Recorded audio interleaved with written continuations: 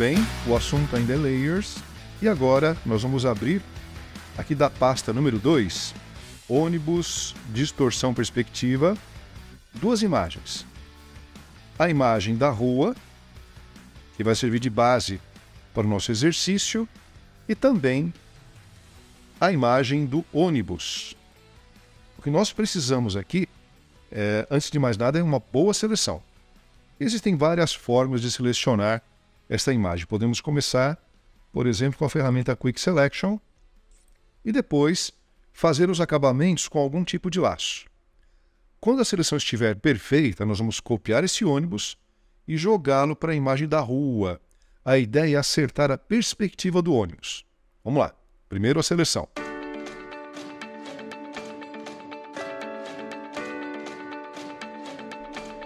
Olha, a seleção com o Quick, ela agiliza bastante o trabalho. E o que eu preciso fazer agora é começar a pensar nos acabamentos dessa seleção. estou diminuindo um pouquinho o tamanho da ferramenta para facilitar um pouco mais aqui o trabalho. A ideia é não pegar a sombra que está aqui no chão, tá bem? Eu trabalhei aqui as rodas, alguns detalhes aqui na parte da frente do ônibus.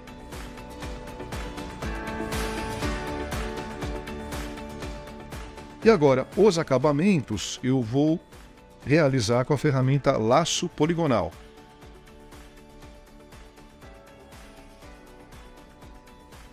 Aumentando o zoom. Olha, essa aqui é a parte do para-barro do ônibus, mas isso aqui não me interessa, que é um pedacinho do asfalto. Enfim, é um trabalho um pouco mais manual, mas a ideia é que essa seleção fique perfeita ou mais perfeita possível.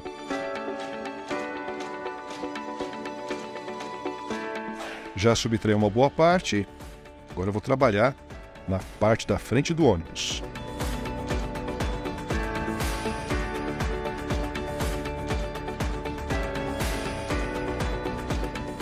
Essa parte também eu estou subtraindo.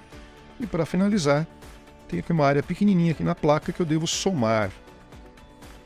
Na barra de controle, ali o comportamento Add to Selection nós somamos essas letras aqui da placa na seleção.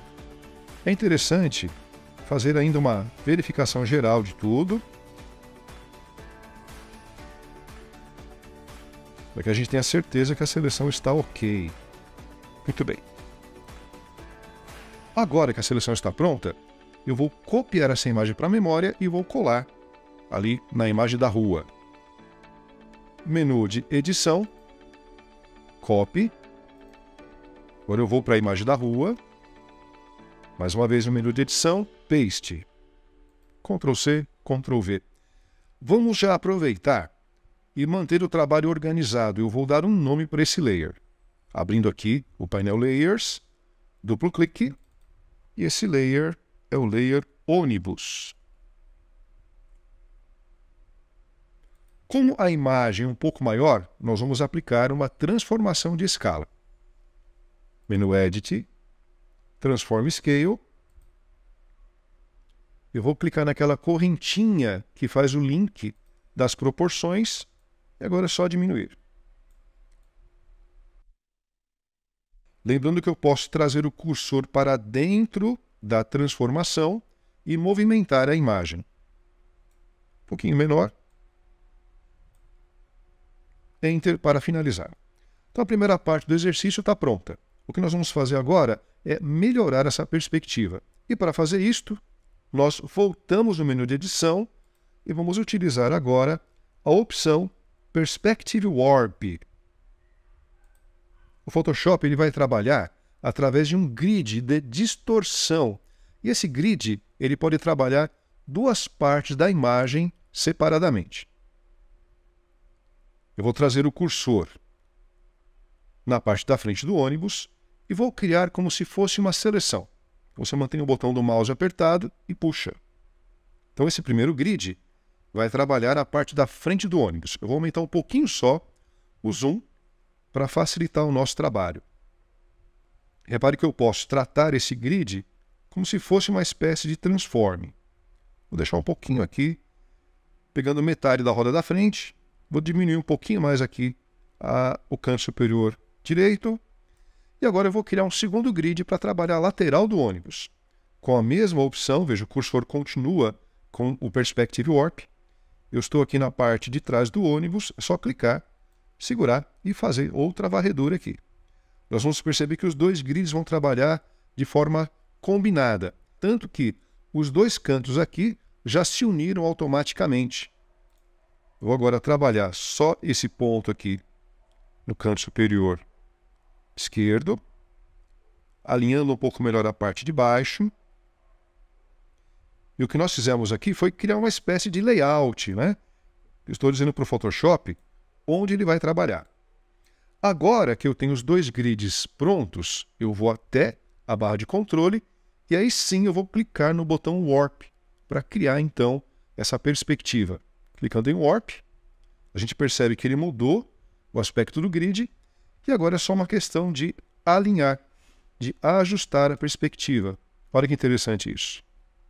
Eu vou trazendo os pontos aqui um pouquinho mais para a minha direita e ele vai encaixando a imagem numa perspectiva bem convincente.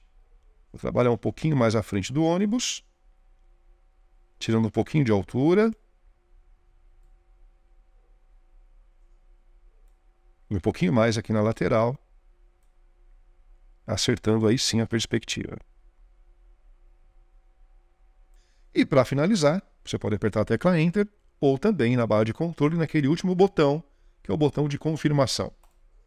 Olha que interessante. Uma imagem que era 2D, que era bidimensional, agora ela já tem um aspecto mais interessante. É como se realmente o ônibus estivesse ali na rua. Agora nós vamos criar uma sombra. E para isto nós veremos um comando novo. Eu vou abrir o painel Layers e nós vamos ver como criar um layer novo. É bem simples.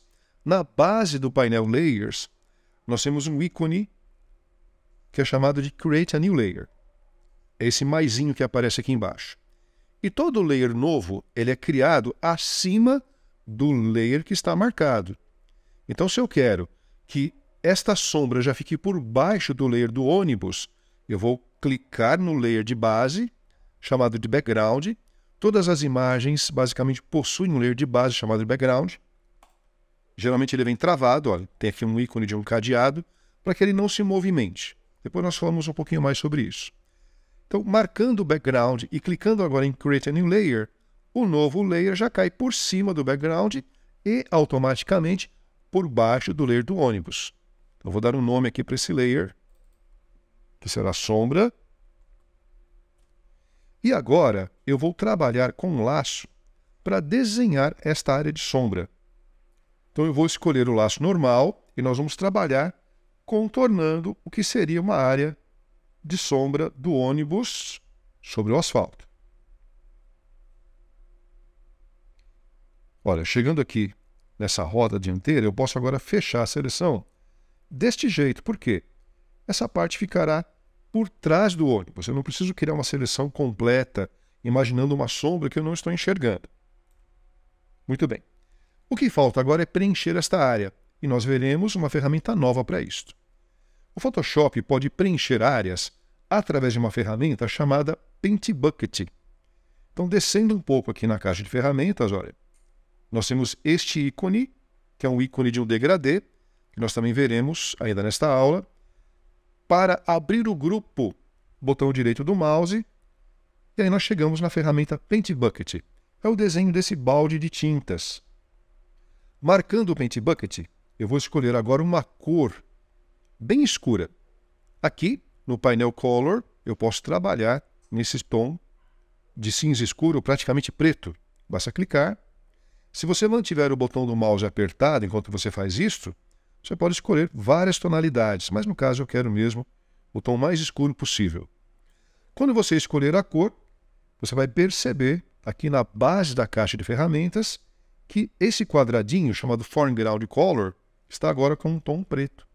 Esse quadradinho alimenta as ferramentas de pintura e preenchimento, no caso, também para o Paint Bucket.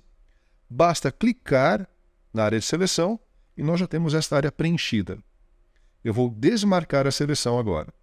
Select de Select. E nós percebemos que esta sombra tem contornos muito duros. O que eu vou fazer agora é criar um desfoque nesta área. Para isso, nós vamos trabalhar no menu Filter. Esse menu nós vamos explorar melhor nas próximas aulas. Ele traz uma série de efeitos visuais prontos. E existe aqui um grupo chamado Blur. Dentro do Blur, nós temos um desfoque, que é o desfoque gaussiano. Ele vai servir bem para simular a sombra, tá bom? Então, olha, Filter, grupo Blur, eu escolho Gaussian Blur. O Gaussian Blur é um filtro bastante simples, ele tem uma área de preview interna, tem uma opção de preview para que eu veja também o que está acontecendo direto na imagem, e eu posso clicar sobre a área, no caso da sombra, você deve estar percebendo aqui um ícone de um quadradinho, que ele joga então o preview direto aqui, sem que eu tenha que ficar deslocando essa parte interna. A opção Radius é a força do filtro. Eu vou aumentar um pouquinho, a gente começa a perceber então o desfoque que já vai acontecendo no meu layer sombra. Algo por aqui. Aplicando em OK, já aplicamos o filtro, e o que eu posso ainda fazer é tirar um pouco da opacidade para enxergar um pouquinho do asfalto aqui na área da sombra. Pouca coisa. Algo por aqui. Ó. Ok, estou satisfeito. On Fit On Screen. E o exercício está quase finalizado. O que falta agora é ajustar melhor as cores entre as camadas. Para finalizar esse exercício, nós vamos ajustar melhor as cores entre as camadas. A gente percebe que existe uma diferença de saturação entre o ônibus e o fundo. Eu posso tanto tirar um pouco de saturação do ônibus ou aumentar a saturação no layer background. Eu vou preferir manter aqui o ônibus selecionado e vou tirar um pouco de saturação. Isso nós vamos fazer com o comando Hue Saturation, que nós já conhecemos. Menu Image, aqui no grupo Adjustments, Hue Saturation. Vou baixar a saturação no ônibus. Já melhorou. E se eu quiser ter uma ideia de como era a saturação original, eu posso desligar a opção Preview. Assim eu tenho uma ideia do antes e habilitando uma ideia do depois já ficou mais adequado, ok. E para finalizar, nós vamos fazer o seguinte: nós vamos criar uma camada nova com uma cor que vai ambientar melhor todo o nosso trabalho. Eu vou manter o layer do ônibus selecionado e vou criar um layer novo acima dele. Para isto, nós vamos na base da paleta Layer, Create a New Layer. Eu vou chamar isso daqui de uh, luz. O que eu quero fazer é pegar uma cor que está no background, uma cor um pouco mais fria. Para pegar uma cor da imagem, nós vamos usar uma nova ferramenta, nós ainda não conhecemos, que é a ferramenta conta-gotas. Esse conta-gotas ele pode escolher um tom de qualquer parte da imagem dependente dos layers. Então eu quero escolher um tom aqui mais frio, aqui do prédio. Quando você clica com o conta-gotas numa determinada área, você já percebe que essa cor vai para o foreground. E o que eu vou fazer agora é preencher esse layer com esta cor. Marcando o layer luz, a gente percebe que a cor já está selecionada. Eu pego mais uma vez o Paint Bucket e faço um preenchimento. Aí você pode estranhar porque esta camada cobriu todo o nosso trabalho, mas nós também veremos um recurso novo que faz parte do painel Layers. Do lado esquerdo da opção de opacidade, nós temos aqui uma lista de mesclagens. As mesclas vão trabalhar as luzes e as cores entre camadas. Então, nós vamos conseguir, uh, com certeza, aqui uma opção que vai aplicar de leve essa cor em todo o trabalho. Então, eu vou abrir a lista de mesclas e aqui nós temos grupos que trabalham luzes e cores escurecendo.